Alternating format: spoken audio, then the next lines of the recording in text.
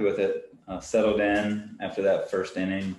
My delivery was pretty synced up, and um, I made a lot of good pitches. I'm happy with the way the ball was moving, and I made two PFP plays.